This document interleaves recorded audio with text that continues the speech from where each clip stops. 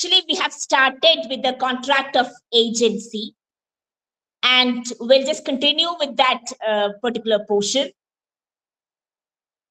So, uh, last class, I, I think we have uh, dealt with the delegation that uh, that particular point, where when uh, an agent can delegate his power. So, we have also uh, gone through the maxim that is delegatus non potest delegare. A delegatee cannot further delegate his power. This we were dealt in the last class. So we'll continue with the contract of agency, which is the last portion of the special contracts. And now the first uh, portion we are just going to discuss is about the sub-agent. So who is a sub-agent? Sub-agent means he's a person who is employed and who is acting under the control of original agent in the business of agency.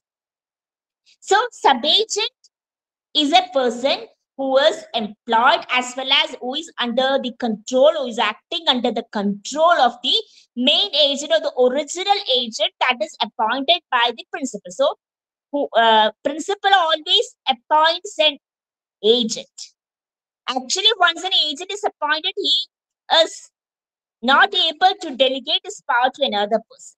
But in some or in special circumstances, what this agent does is he appoints a person, he employs a person, and who will act under the control of this original agent, and he is known or he's termed as sub-agent.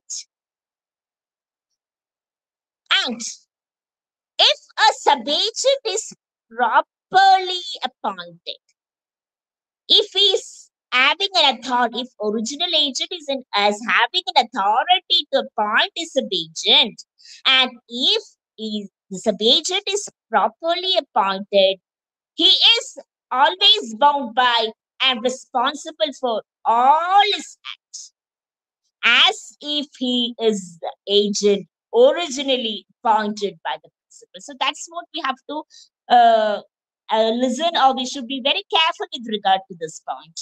Suppose a sub-agent is properly appointed, or if that original agent is having an authority to appoint a sub-agent, then the whatever acts done by the sub-agent is bound by and is responsible for all acts as if he is the original agent appointed by the principal. Now, agent's responsibility for sub-agent. So we have to feel that, or we have to just pinpoint the main aspect here is the agent is responsible to the principal for all the acts of a sub-agent because who is appointing a sub-agent? Who employs a sub-agent? Of course, the original agent. Here, the principal is not appointing, the principal is not employing the sub-agent. So, under these circumstances, whatever acts of the sub-agent, who will be responsible for all the acts of the sub-agent? The original agent is responsible for all the acts of the sub-agent towards whom towards the principal. And again, the sub-agent is responsible for his acts to the agent, but not to the principal. So, and moreover, the sub-agent is only responsible towards whom? Towards the original agent. He is not responsible for his acts to the principal. But if it is a fraudulent act, if it is a willful wrong, then of course the sub-agent is always responsible to the principal. In the exceptional cases, if it is a fraudulent act of or if there is a willful wrong from the part of the sub-agent, then he is responsible towards the principal. So we have to, uh, the main point here is whatever acts is done by the sub-agent, who is responsible? The original agent is responsible. And sub-agent is responsible for his act only to the original agent and not to the principal. And he, the sub-agent, will be responsible for the acts done by him to the principal if he has done a fraudulent act or if he has done a willful wrong. So these are the two exemptions whereby the sub-agent is directly responsible for his act towards the principal. In all other instances, you could say that the sub-agent is always responsible to the original agent and not to the principal. So only under two circumstances we can say that the sub-agent is also responsible towards the principal in the case of a fraudulent act or in the case of a willful wrong. Then another instance. Suppose say sub-agent is appointed by the original agent. But the agent, this original agent doesn't have any authority to appoint a sub-agent. Then the original agent is responsible not only to the principal, but also to the third person. Because in the contract of agency, an agent actually, there is actually connection to the third person too. So he is acting as an agent of the principal towards a third person.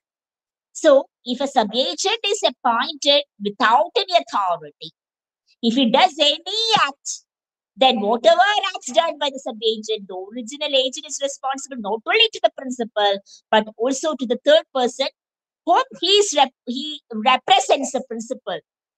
So there will be a third person where the agent is representing this principal. So in that sense, you should say that you could uh, you know you should know that whatever acts done by the sub-agent without any authority, the original agent is responsible not only to the principal alone, but also to the third person whom he represents the principal. So here what we have to take in account is whenever an agent appoints a sub-agent, he should have a proper authority to appoint a sub-agent. Otherwise, whatever does by the sub-agent, the entire burden will be upon the shoulders of the original agent. And he is liable not only to the principal alone, but also to the third party or the third person. And in some instance, we could say that the agent will be given a duty by the principal just to give a name of a person, just to name a person, to do a particular kind of business in that contract of agency. So the thing is, suppose Sharath. Uh, uh, Sharath is the principal. And Sharath, Ashwathi let uh, Ashwathi be the agent. And Sharat asked Ashwathi just to name a person for conducting a particular business or, spe- or special business. So what Ashwathi does, Ashwathi names a person. And if he's only naming a person, he's not a sub-agent, but he is the original agent. He acts as if he's the original agent because he's conducting only a particular kind of business, a particular kind of uh, contract of business or contract of agency. Suppose uh, uh, Mithuna, Ashwathi name Mithuna. So Mithuna is not a sub-agent. Here Sharath, who is a principal, he asks Ashwathi, who is the agent, just to name a person for conducting a particular business. And Ashwathi names Mithuna. So here Mithuna is not a sub-agent, but he is the original agent as if uh, is uh, Mithuna is like Ashwathi, original agent. Because Mithuna is appointed only for conducting a particular, a special contract of agency. Okay. Suppose Sharath asks Ashwathi to name a person for conducting a particular contract of business or agency. Then Ashwathi is naming a person, and while naming a person, Ashwati should take all kinds of due diligence. All kinds of due diligence as if an ordinary prudent man would take it. so she should show all kinds of diligence as if an ordinary prudent man would take care while naming a person. Suppose if Ashwati name a person, if that other person is not acting according to, if Ashwati has taken all due care in exercising her power of naming a person for conducting a particular business, then Ashwati is not responsible for any wrongful act by the person whom Ashwati has named. So, when here, here I just gave an illustration as Sharat is the principal, Ashwati is an agent, and Sharat asks Ashwati to name a person for conducting a particular contract of agency. Then Ashwati names a person. But while Ashwati is naming a person, he's not a sub-agent, he's original agent. But she should take all due care while naming a person. If she, stay, if she has taken all due care exercising this power of discretion, and in spite of that, even if even after taking all due care and all due diligence in exercising the power of naming a person, the other person is uh, conducting or has done a negligent or wrongful act, Ashwati is not right. Because Ashwati has taken all care. So while exercising this discretionary power, we should take we should be very conscious while naming a person for conducting that particular kind of business. I think it's clear. So whenever an agent is asked to name a person for conducting a particular business, we should be very careful. We should be very cautious in naming the person. We are having such a sort of discretion in exercising this power of naming a person because he's not a sub-agent, he's an original agent. And if, in spite of this, the person who have named us uh, done some wrongful acts, of course, this original agent, the person who have named, is not at all right. If no due care is taken, if no due diligence is taken, then of course we'll be liable for the wrongful act or the negligent act of the person whom we have named. Even if an agent has done some act without any authority. If the original agent is doing some act, if the original agent or sub-agent, if he's doing any act without any authority, later on, the principal can either ratify it or disown. Very important the point. Even if the agent or sub-agent has done some act without any proper authority, even in the absence of a proper authority, if the agent or sub-agent has done some act, the principal, he can either ratify it, can accept it later on, or he can disown it. Suppose if he is ratifying it, it will have the very same effect as if it is done with the proper authority. Suppose an agent has done some act. He has done without any authority of the principal. But later on, the principal ratifies it. That means, what is the presumption? He has ratified it as if he has done, he is having the proper authority. So it will take into effect or it will be taken into effect that the particular act was done with proper authority. So whenever the principal is ratifying a particular act, it, has it can either be expressed or implied by the contact of the parties. So here we have to uh, be very clear that even if an agent, even if a sub-agent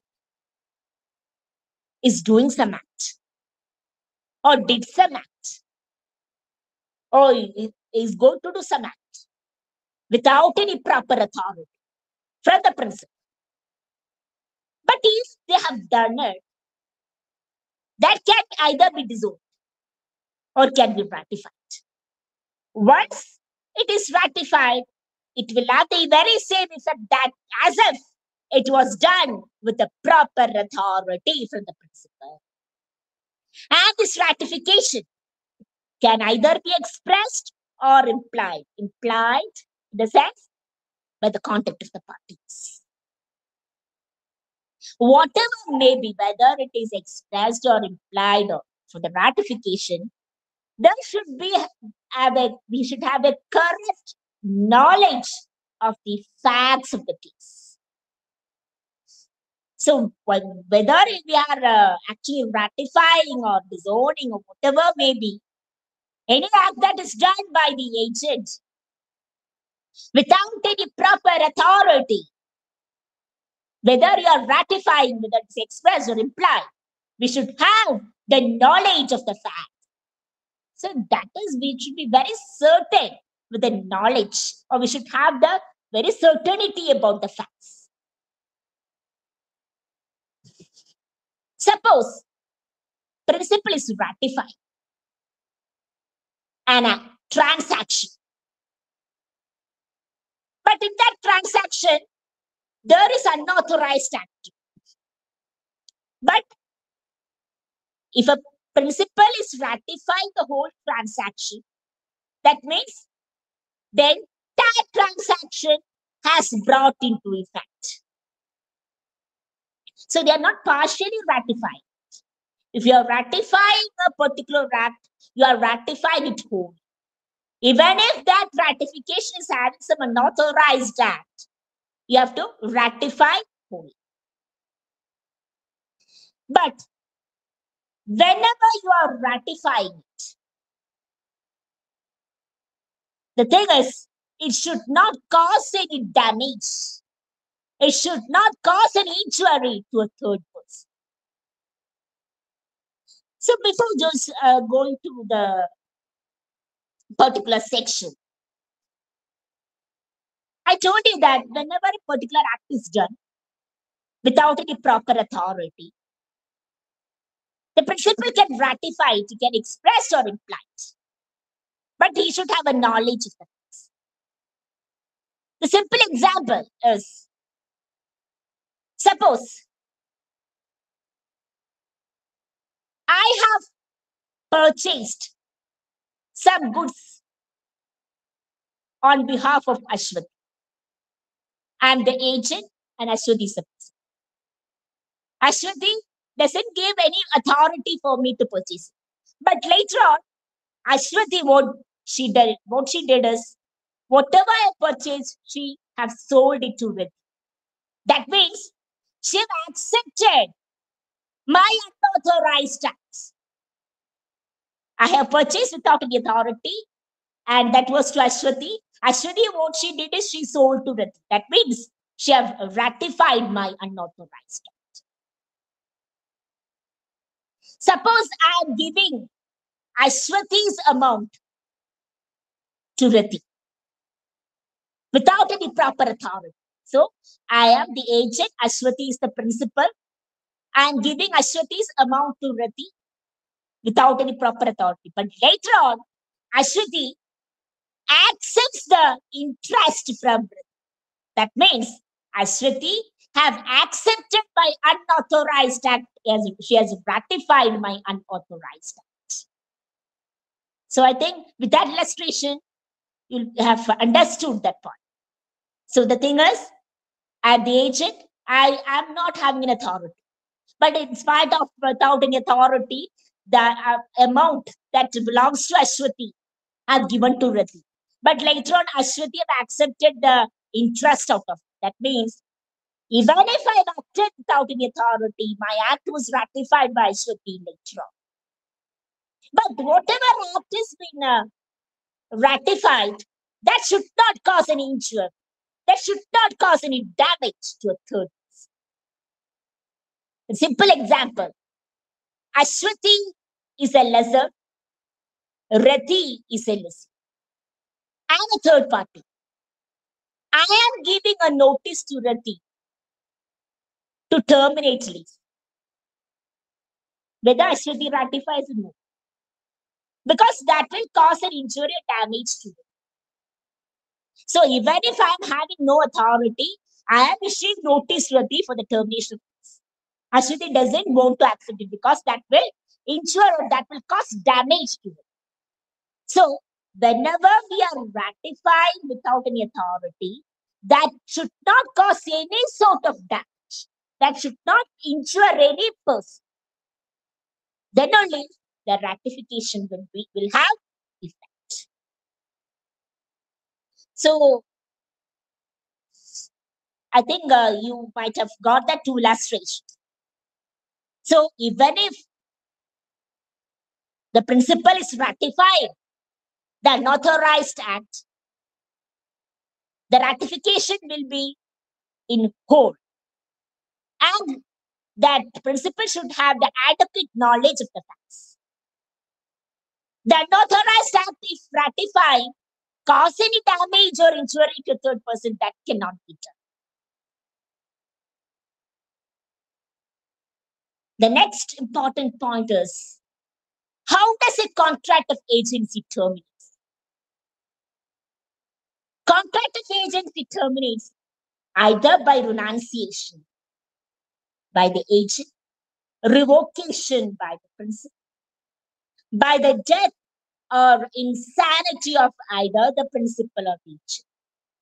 or if the principal is adjudged as an insolvent. So in these circumstances, the contract of agency terminates either on the renunciation by the agent or revocation by the principal or if a particular contract of agency has been accomplished that particular purpose has been accomplished or due to the death or uh, due to the insolvency I mean the unsoundness of mind by either the principal or the agent or if the principal has become an uh, is a, a judge as insolvent. So in these circumstances contract of agency will become invalid